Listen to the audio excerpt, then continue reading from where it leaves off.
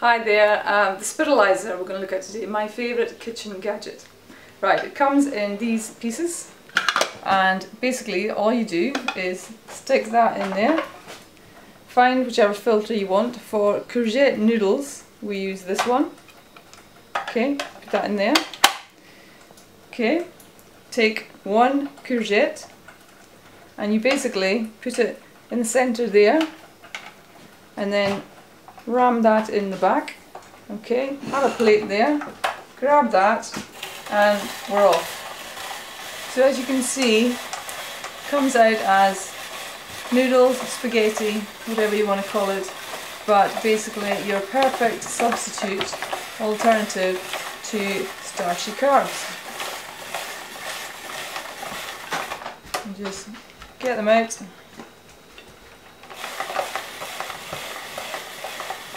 Go as fast as you like.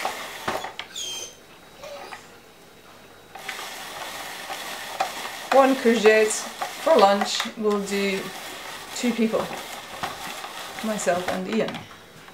Okay, you'll find you get a long bit in the middle, just take that out. Keep going, keep going, right to the end. Get that out there, okay. So that's that, easy, done. What you want to do now is find the middle, divide it by two. More for me, if possible. There we go.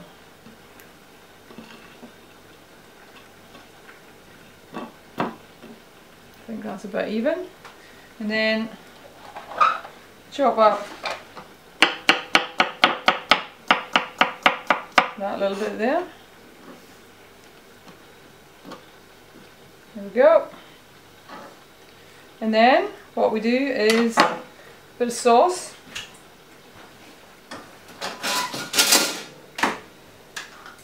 So this is the red pepper, tomato and red pepper sauce I made earlier. Okay, that goes on there.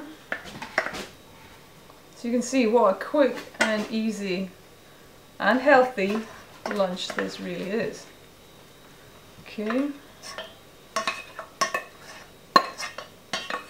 And then to finish it off,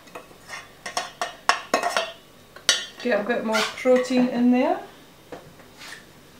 and uh, your good essential fats. We've got half a smoked mackerel each. Chopped very delicately. Okay, done. Courgette noodles, tomato and red pepper sauce with mackerel.